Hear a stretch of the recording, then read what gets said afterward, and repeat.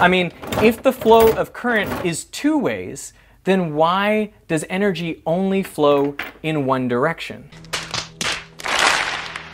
These are the lies you were taught about electricity. No, God! No, God, please, no! No! No!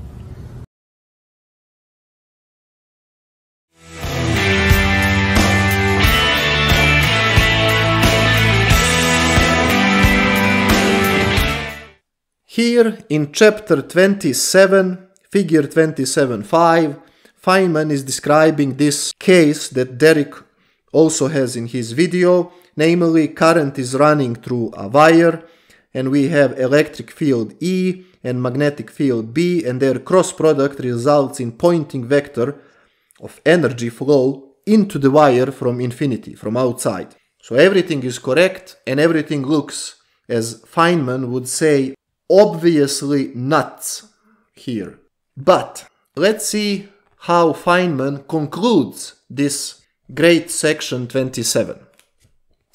Here in the last paragraph, Feynman says, You might believe that you must revamp all your intuitions and therefore have a lot of things to study here.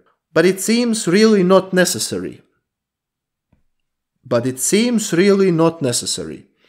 You don't need to feel that you will be in great trouble if you forget once in a while that the energy in a wire is flowing into the wire from the outside rather than along the wire.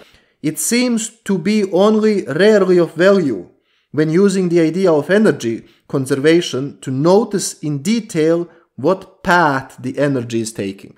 The circulation of energy around a magnet and a charge seems, in most circumstances, to be quite